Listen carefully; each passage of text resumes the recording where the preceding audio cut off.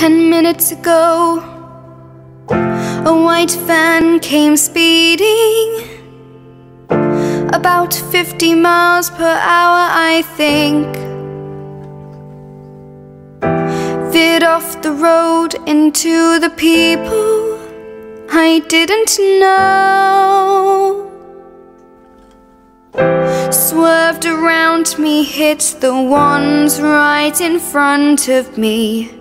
A French couple to be wed. It could have been me that could see for the last time. It could have been me that could hear for the last time. It could have been me trying